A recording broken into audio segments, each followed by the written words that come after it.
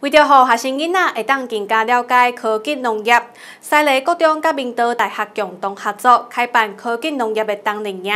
除了邀请在地农产业者来解说产销履历等等作业流程，并分享安怎用科技来进行农业的相关工作，就有可能拍破小朋友对农业老旧的印象，同时发展因对农业的兴趣，帮助学生规划未来。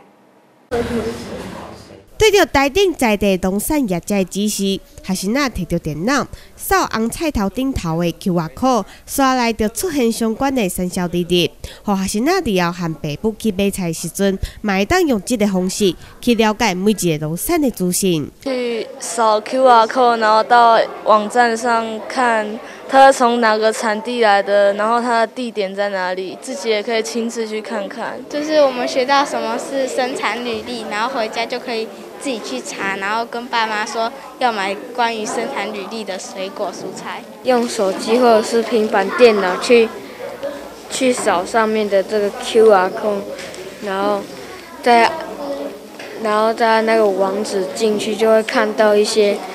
关于这个农产品的资讯。西丽是全台农产中定，为此西丽各中和明德大学是共同合作开办科技农业冬令营，除了邀请在地业者来解说产销履历等等作业流程，更加分享如何运用科技来进行农业相关工作，让小朋友知道说，哎，我们农产品的生长过程为什么会说产销履历农产品是有身份证的农产品？那借由这个互动的方式，让小朋友更了解说，哎，我们的农产品。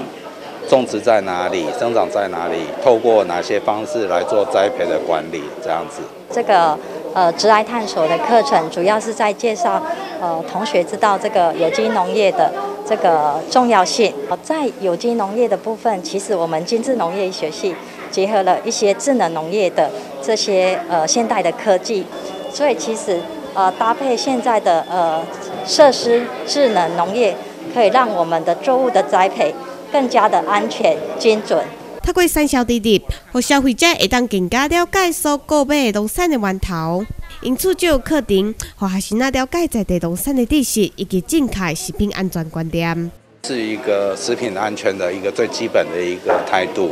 那其实农产品就等于是食品，那扯牵扯到食品，那就是食嘛，一个人一个量，所以我们的人凭良心来做事情。